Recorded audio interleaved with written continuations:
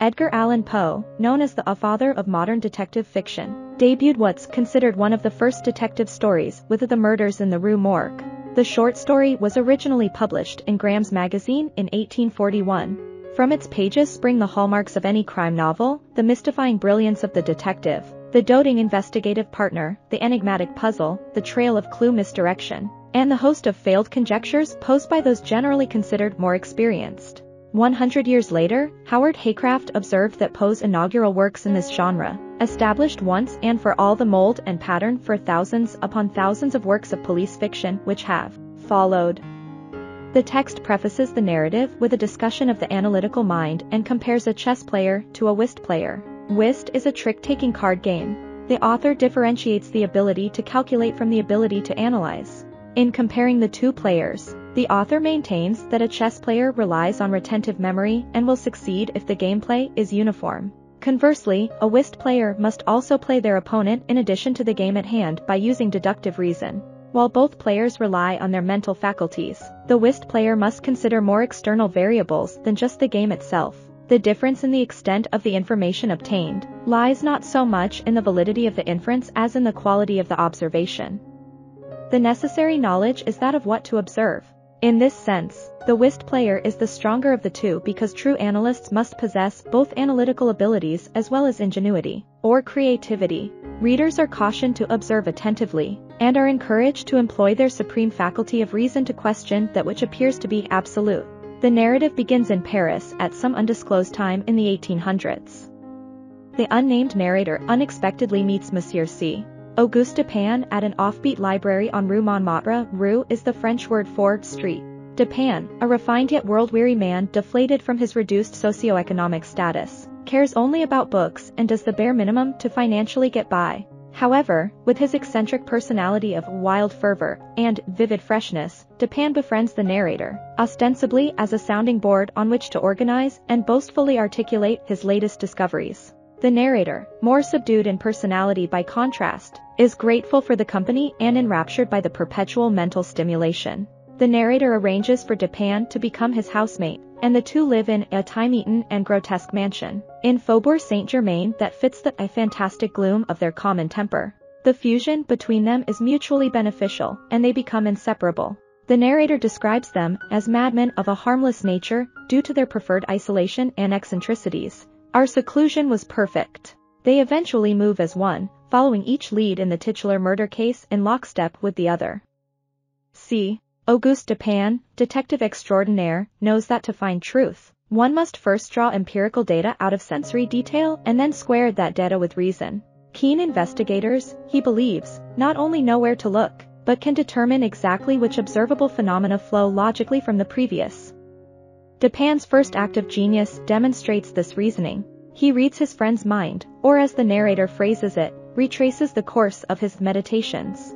To the narrator's astonishment, Dupin, without prompting, agrees that the stage actor Chantilly, a diminutive figure, would be better suited for the variety theater.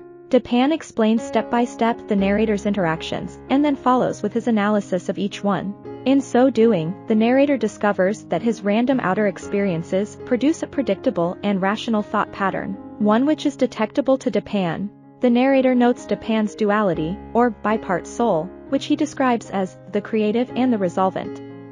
He muses that Dupin's abilities result from an excited, or perhaps diseased intelligence. Dupin and his partner read and discuss a series of local news articles related to extraordinary murders. The articles thoroughly detailed the grisly murders of Mademoiselle Camille L'Espanaye and her mother, Madame L'Espanaye. A good portion of the narrative is devoted to three main details of the case, the state of the two victims at the time of death, the lack of cohesion in the witness testimony, and the unusual crime scene. The gruesome details, alarming to the average audience, are enumerated antiseptically throughout the narrative by abbreviated phrases devoid of emotional commentary. The first article extensively describes the crime scene, including the condition of the victim's apartment as well as entry points. Investigators discovered Mademoiselle L'Espanaye's body strangled and crammed feet first into the chimney. Madame L'Espanaye's body was found bludgeoned, mutilated, and decapitated. The physician who assessed the bodies determined that the perpetrator or perpetrators had to possess great strength to inflict such severe damage. The physician also deduced that a razor was likely used on Madame L'Espanaye. Subsequent articles convey that none of the witnesses can provide agreement on the language uttered by the victim or perpetrator during the crime. One witness, a French officer, claimed to hear a Frenchman having a dispute with a foreigner speaking Spanish. A neighbor believed to have heard someone other than the victim speaking Italian. A restaurateur, native to Amsterdam, maintained hearing a Frenchman cry out. Another witness, an Englishman unfamiliar with the German language, heard an altercation between a Frenchman and a German. An undertaker native to Spain heard an exchange between a Frenchman and an Englishman, though he does not understand English. The final witness, an Italian, testified that he heard a Frenchman and a Russian. Dupin reads that an acquaintance, Adolphe Le Bon, meaning the good, has been arrested for the murders and plans to interject based on the lack of evidence he ascertained via the news articles. Dupin offers a lengthy monologue on the shortcoming of the Parisian police, chiefly that they operate successfully when only simple diligence and activity are required. He haughtily continues and references François-Eugène Vidocq, a famous French criminologist. Dupin maintains that while Vidocq was a good guesser and a persevering man, he made mistakes in his investigations because Vidocq impaired his vision by holding the object too close. Satisfied, Dupin suggests that he and the narrator assess the crime scene with their own eyes. Dupin persuades his friend G, the prefect of the Paris police, to allow him and the narrator entrance to the crime scene. Once their examination of the L'Espanaye's apartment has concluded, Dupin drifts into a long period of silent contemplation. Before he finally shares whom he suspects is responsible for the crimes, as well as the rationale behind his deduction, he sets the stage for the unfolding drama. Assured in his deductions, Dupin again criticizes the short-sightedness of the police. They have fallen into the gross but common error of confounding the unusual with the abstruse. But it is by these deviations from the plane of the ordinary that reason feels its way, if at all, in its search for the true. In investigations such as we are now pursuing, it should not be so much asked, what has occurred, as, what has occurred that has never occurred before. Dupin is so confident that he has solved the insoluble mystery, that he prepares the narrator for the perpetrator's impending arrival at their home. With their pistols at the ready, Dupin reveals the events of the crime as he understands them. First, Dupin eliminates the possibility of murder-suicide and determines that a third party is responsible. Second, he scrutinizes the conflicting witness testimony and concludes that no words, no sounds resembling words, were by any witness mentioned as distinguishable. Third, Dupin walks the narrator through the physical crime scene to determine the perpetrator's exit. He remarks that the police have exhaustively searched the scene, unable to determine the point of exit. No secret issues could have escaped their vigilance. But, not trusting to their eyes, I examined with my own eyes. The L'Espanaye's two apartment windows are of particular interest to Dupin. Both are latched by a nail from the inside suggesting the murderer could not have escaped from either. However, since none of the ten witnesses claim to have seen anyone exiting the doors of the apartment on the night of the murder, the only other way to exit, he rationalizes, must be one of these windows. Dupin guides the narrator through his deductions, all the while arrogantly assuring the narrator that no matter how puzzling the mystery may appear, there was no flaw in any link of the chain. During his preliminary assessment, Dupin thoroughly analyzed the window latch mechanisms. One of them showed no malfunction whatsoever, but the other's cracked nail gave only the appearance of closure. By testing, he proved the second window could have easily been opened from the inside and afterward spontaneously reclosed itself. Fourth, with the perpetrator's plausible escape in mind, Dupin scanned the exterior wall of the apartment to determine the mode of descent. He offers a lengthy assessment of the exterior of the apartment to conclude that the perpetrator, with an almost preternatural character of agility, could have swung from the building's lightning rod to enter through the L'Espanaye's window. Although not yet revealed, Dupin found a ribbon, similar to ones used by sailors, frayed and hanging off a lightning rod attached vertically along the building's face.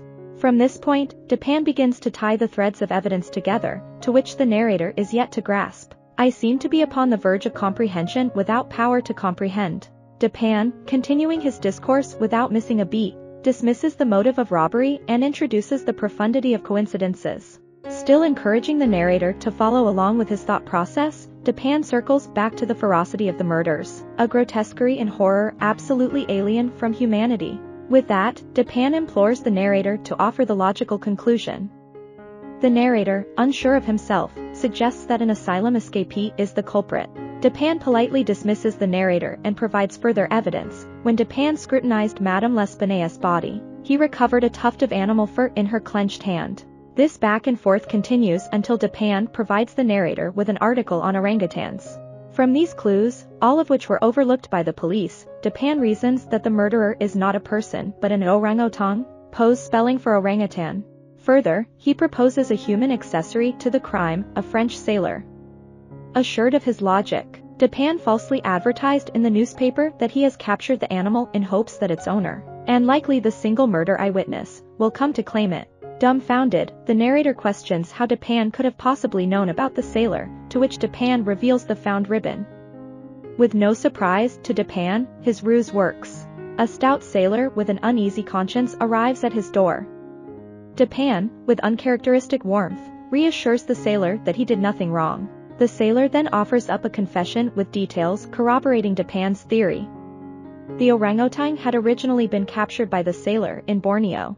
The sailor, unable to domesticate the animal, resorted to caging and whipping it as necessary. On the night of the murders, the orangutan broke out of its structure, played with his owner's shaving razor, and struck out into the street after being frightened by the sailor's return. Confused, afraid, and driven to outrun the sailor's pursuit, the beast rushed in the Rue Morgue, meaning Mortuary Street, and scaled its way into the L'Espanaye's apartment. The creature's subsequent unpremeditated double homicide resulted from its instincts to the sight of blood, the screams of Madame L'Espanaye, and its guilty conscience. The narrative concludes with the orangutan being sold by the sailor to the local zoo, Le Bon's release, and Dupin, satisfied with having defeated the prefect of the police in his own castle. I hope you enjoyed this video leave a like if you did and be sure to subscribe thank you.